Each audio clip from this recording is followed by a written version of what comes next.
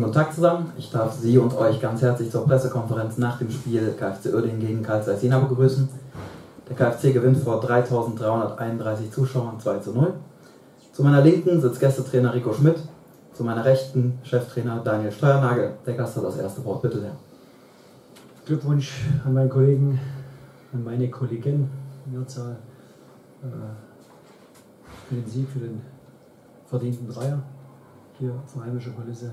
Ich möchte mich ganz, ganz herzlich bedanken bei unseren vielen, vielen Fans im Namen meiner Mannschaft, persönlich, Funktionsteam, Verein, dass so viele hierher gereist sind, über 1000 äh, Fans vom FC Karl Jena, die uns hier unterstützt haben, von der ersten bis zur letzten Minute. Das wollten wir natürlich mitnehmen, äh, von der, von der Atmosphäre her, das auch ein Stück weit auch für uns als Spiel nutzen, so gefühlt ein Heimspiel von, bei der Kulisse mit der Manpower. Ähm, wir haben es im Großen und Ganzen nicht aufs Feld gebracht. Äh, erste Halbzeit ähm, bis zum Tor praktisch neutralisieren. Äh, Uertingen engagiert, äh, versucht, äh, Räume zu, zu, zu finden. Wir haben uns das schon recht geschickt gemacht. Ähm, wir aus unseren Eroberungen nicht zwingend gewesen. So insgesamt für die, steht das für die erste Halbzeit. Äh, das sah hier und dort sicherlich auch mal schick aus und nochmal ein Ball über zwei Meter. Aber das ist nicht das, was du in der dritten Liga brauchst. Du brauchst Tiefe, du brauchst Abschlüsse, du brauchst äh, äh, in, der, in, der, letzten Konsequenz auch äh, das Durchsetzungsvermögen. Das hat uns in der ersten Halbzeit gefehlt und in dieser Phase, wo, wo beide Mannschaften ja, gesucht haben, äh, den Weg nach vorn, äh, auch Deckungsarbeit geleistet haben, fällt das Tor. Äh, nicht aus einem Stationsspiel, sondern aus einem wieder Umschaltspiel, wo wir einfach, und das sind, habe ich zur Halbzeit gesagt, Verfall in alte Zeiten. Das ist, das ist einfach zu billig, wie wir das 1 0 bekommen. Und das ist dann so ein roter Faden gewesen in der ersten Halbzeit, wo ich auch so dieses Wehren äh, nicht gesehen habe. Das ist äh, zu jugendlich gewesen gegen eine äh, robuste Männer, Männermannschaft. Da waren wir Begleiter in vielen Situationen, Zuschauer in vielen Situationen. Und deswegen stand es dann unterm Strich auch verdient 1 zu 0 zur Halbzeit. Ähm, angesprochen, ein paar Dinge äh, umgestellt, dass wir mehr über die Flanke, über die Flügel kommen, äh, die Dynamik von, von Obermeier nutzen, äh, auch die Robustheit von Donkor, also nicht äh, mehr unbedingt durchs Zentrum, sondern mehr über den Flügel, über Doda, über Bitroff zu kommen. Ähm, das ist über den Haufen geworfen worden durch das 2-0 Standardtor. Ähm, ich weiß jetzt nicht, was jetzt äh, an ganz klaren Chancen Oerdingen davor noch hatte, äh, aber ein Standardtor öffnet immer viele Wege und am Ende auch für, für einen Sieg. Und damit war gefühlt erstmal die Dinge zurechtgelegt für Oerdingen Oerding hat dann nur noch das Nötigste getan. Äh, wenn wir was positiv nehmen, mitnehmen jetzt aus dem Spiel, ist das zumindest da nochmal äh, die Mannschaft, meine Mannschaft, äh, versucht hat, ein, Tor zu erzielen, den Anschlusstreffer zu erzielen, aber eben nicht so zwingend.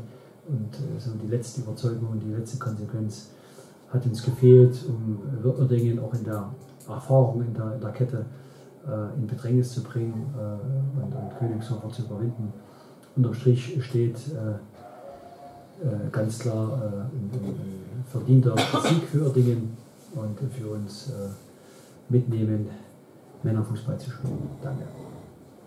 Vielen Dank, Herr Schmidt. Dann jetzt zum Trainer der robusten Männermannschaft. Daniel, bitte. Ja, wir können, glaube ich, heute mit dem Spiel sehr zufrieden sein. Wir haben wieder zu Null gespielt. Wir haben, äh, ein Kollege hat es schön analysiert, wir haben, glaube ich, gerade in unserem letzten Drittel ähm, haben wir wirklich ähm, ja, sehr, sehr gut verteidigt, sehr gut gestanden. Ähm, ja, der Gegner hat zwar auch viel äh, den Ball zirkulieren lassen, aber da auch den Raum äh, mit, mit vielen Spielern überladen, aber das äh, konnten das halt dann nicht äh, zu Ende führen. Und ähm, ja, und wir haben einfach in, in den entscheidenden Situationen äh, Frankie Javina äh, zweimal sich super durchgesetzt, einmal ähm, ja, nimmt er den Ball von außen, mit seiner Power geht er nach innen und dann hat es mich natürlich sehr gefreut, dass der Tom, der unheimlich viel arbeitet, immer sich in Dienst der Mannschaft stellt, hat dann den Ball aus der Drehung reingeschossen, so wurde das Einzel erzielt. Beim 2-0 war es ähm, dann so, dass äh, der Frankie da auch super durchbricht, wird gefault und Standard und dann natürlich eine Riesenqualität durch den Roberto äh, Rodriguez. Ja, und ähm, ja, der Jan, ist, der steht da wie ein Funkturm in der Luft und drückt das Ding rein. Und Standards gehören auch zum Fußball dazu. Dann haben wir 2-0 geführt. Ja, und dann haben wir äh, wieder sehr, sehr gut verteidigt, haben dem Gegner eigentlich wenig Möglichkeiten gegeben und äh, haben dann zum Schluss äh, leider verpasst äh, durch einen Party Flügge, der wirklich zwei sehr, sehr gute Möglichkeiten hat und dann vielleicht noch das 3-0 äh, draufzulegen, wäre vielleicht auch des Guten zu viel gewesen, weil ich glaube, dass Jena sich heute nicht äh, so präsentiert hat wie ein Schlusslicht, sondern die haben wirklich auch guten Fußball gespielt und ähm, ja, deswegen können wir auch zufrieden sein, dass wir das Ding hier heute gezogen haben und ähm, ja, jetzt unseren Weg da weitergehen können. Danke. Danke, Daniel. Gibt es Fragen an die beiden Trainer? Jim Decker, Kicker? Herr Steuernagel, können Sie schon was zu äh, Hakim Grünhusch und äh, Herrn Dorder sagen, die ja beide, glaube ich, verletzungsbedingt vom Feld mussten? Ja, wenn es natürlich was Schlechtes gibt zu dem Spiel, dann sind natürlich diese, diese Verletzungen, ich glaube, beim, beim Christian Dorder ist es nicht ganz so schlimm, dass nur die Muskulatur so ein bisschen zugegangen.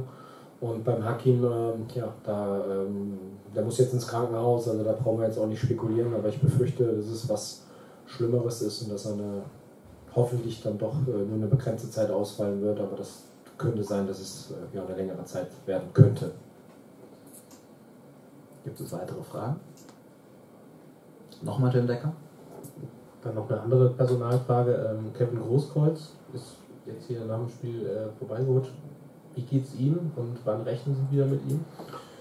Ja, der, der Reiser hat es ja schon am Donnerstag äh, in der PK auch gesagt. Ne? Er hat jetzt individuell trainiert und äh, jetzt denke ich mal, dass er nächste Woche dann ins Mannschaftstraining wieder einsteigt und äh, ja, dann müssen wir gucken, wie wir es dann am Montag dann in Duisburg machen. Gut, ich sehe keine weiteren Handzeichen mehr. Dann bedanke ich mich für heute. Ich wünsche den Gästen eine gute Heimreise und wir sehen uns nächste Woche Montag wieder zum Derby in Duisburg. Vielen Dank.